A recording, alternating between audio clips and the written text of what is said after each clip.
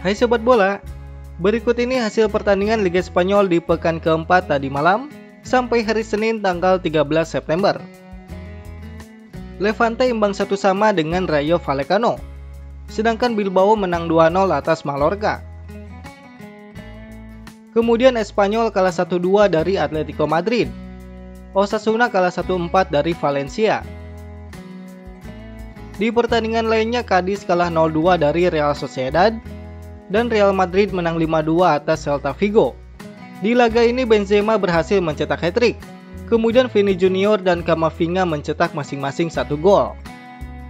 Sementara itu pertandingan di pekan keempat antara Sevilla lawan Barcelona dan Villarreal lawan Alaves telah resmi ditunda.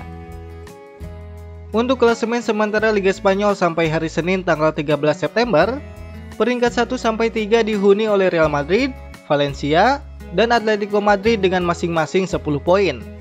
Sementara itu Barcelona kini ada di peringkat ketujuh dengan koleksi 7 poin. Untuk dasar klasemen La Liga sampai hari ini dihuni oleh Celta Vigo, Getafe, dan Alaves. Kemudian untuk top skor sementara La Liga sampai hari ini dipimpin oleh Karim Benzema dengan koleksi 5 gol. Dibuntuti Vinicius Junior dan Oyarzabal dengan koleksi 4 gol. Untuk top assist juga dipimpin oleh Benzema dengan koleksi 4 assist. Diikuti Iker Muniani dengan koleksi 3 assist. Kemudian top clean sheet dipimpin oleh Alex Remiro dengan koleksi 3 kali clean sheet. Dan untuk pertandingan terakhir La Liga di pekan keempat akan dihelat hari Selasa tanggal 14 September.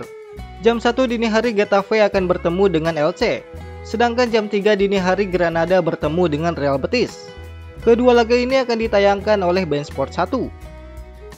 Kemudian untuk pertandingan La Liga pekan kelima akan dimulai hari Sabtu tanggal 18 September. Dibuka dengan pertandingan Celta Vigo lawan Cadiz jam 2 dini hari.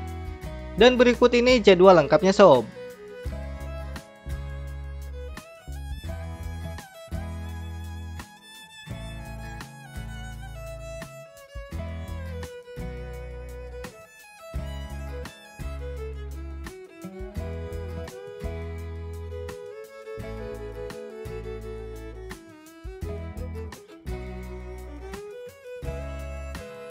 Terima kasih sudah menonton dan sampai jumpa di video selanjutnya sobat.